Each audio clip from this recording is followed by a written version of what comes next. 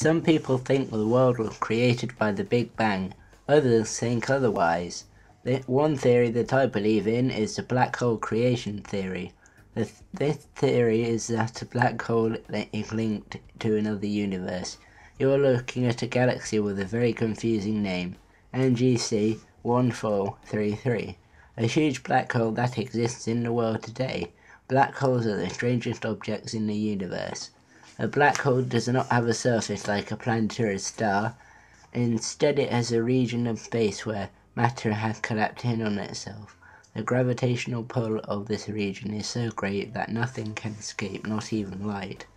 A new universe is created when particles are sucked from a black hole, where they break up and then reconfigure wherever the black hole spits them out.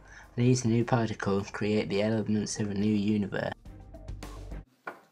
I've added some oil, which represents the particles, and they will be changed as they pass through a black hole into a different universe.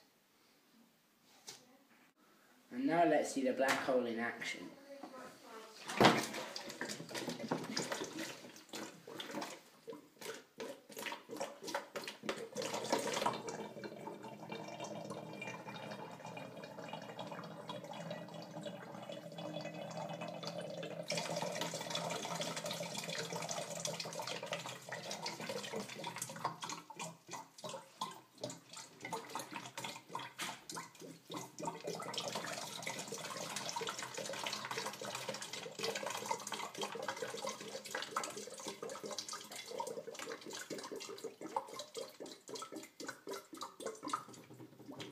See how the oil has been mixed up in the new universe? This is what happens to the particles as they pass through the black hole.